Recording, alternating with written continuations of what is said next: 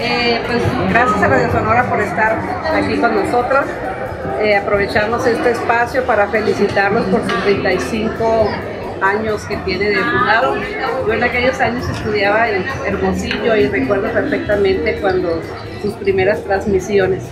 Eh, fue una época muy bonita de crecimiento para el estadio y sobre todo para Hermosillo también.